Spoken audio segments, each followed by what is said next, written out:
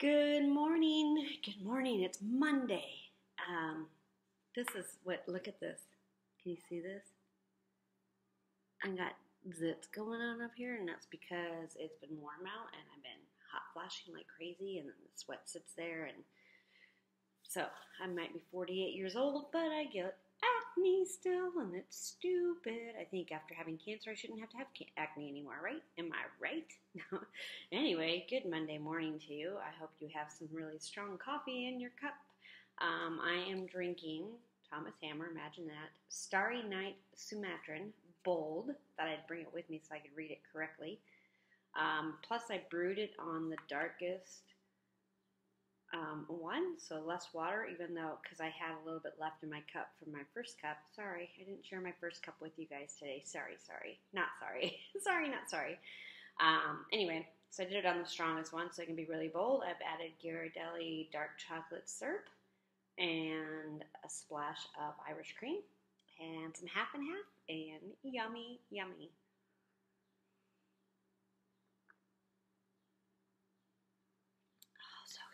Got my workout in, got my shower in, got to make my lunches still and get ready for work. But uh, happy Monday! I'm feeling better, obviously. Um, I did a workout Saturday morning and I lifted weights, and I think it helped me a lot. I was still sore and I still had to take ibuprofen, and then yesterday was a rest day.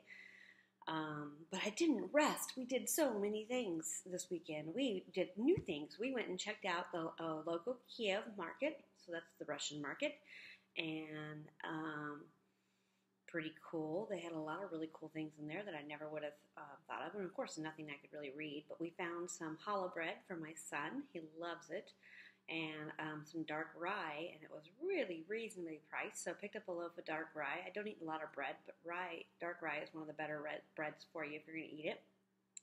So I'm looking forward to having a sandwich with that today. So.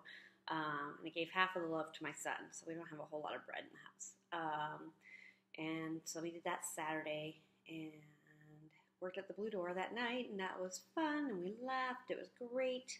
And they did before it's in movies or before it's in theaters, and that's really awesome because they just show you the movie poster and read to you what it's about, and then the audience votes on which one they want to see, and then we watch the trailer. And then everybody improvs off of what they think the movie's going to be because of the trailer. And so then they act it out for about 15 minutes and you do a couple movies. And the last movie was called, I kid you not, The Love of Water. And it's about a deaf woman, no, mute woman, who falls in love with a fish man. And it will probably win many, many Oscars. It's got some people that are known, and it's done by Guillermo del Toro, who did Hellboy.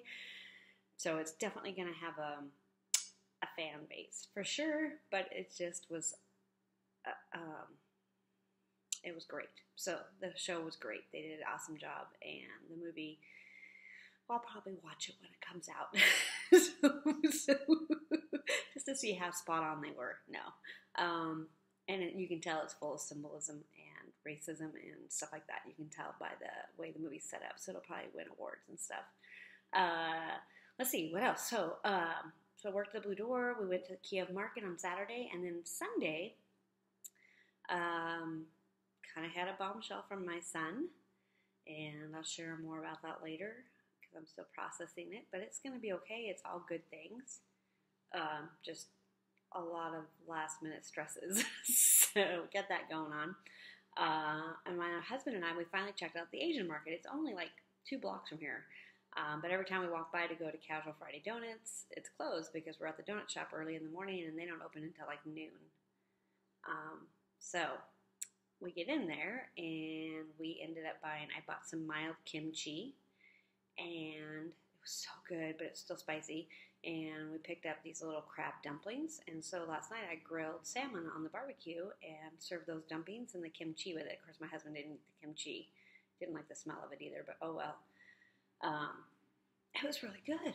It was really good. We'll definitely go back. Definitely feel more comfortable in there. And it was really funny. They were playing uh, Christian worship music in there too, so that was kind of awesome in English because they were just listening to 104.9. So it was kind of funny.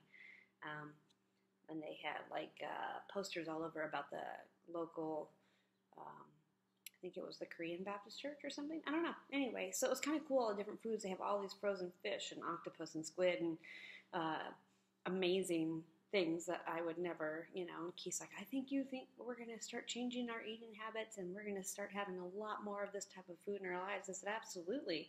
You know, you always watch like Rachael Ray, and she's like, "Oh, you can get such and such at your local Asian market." Well, I never really lived anywhere that had a local Asian market until I moved here, and so I love the uh, diversity of the foods and stuff I get to try. I've always had access to Mexican food and Mexican markets because of where I lived in Arizona, um, and we have that up here still. But gosh, now I have a Russian market, and there's a there's a Jewish market in town, and there's also now the Asian market and stuff. So um, being exposed to different cultures via food and cooking is awesome.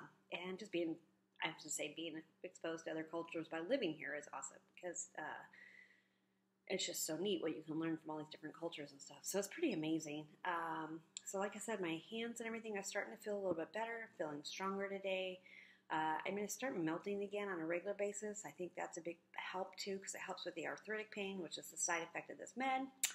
Um, it's Monday. I can't believe it's Monday already, but it's okay. Life is good. I have energy today. I worked out, like I said, and have my good coffee in my hand. And um, oh, don't ever take my coffee from me, please. so, I uh, I used to get my coffee in the mail because I had a different machine and I could only order things online to get them mailed and it would do what they call SurePost, and it would go in between either UPS or go parcel post, which is the post office.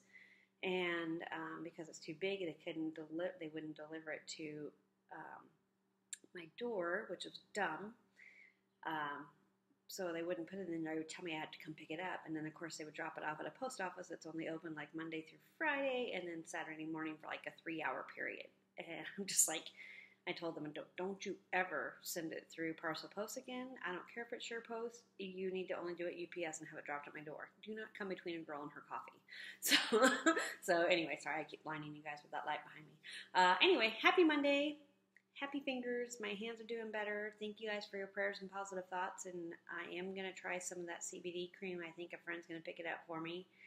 Um, yay! Life is changing. Change is good, right? Yes. All right. Love you guys. May your coffee be as hot and strong and bold as you are. Love you. Bye.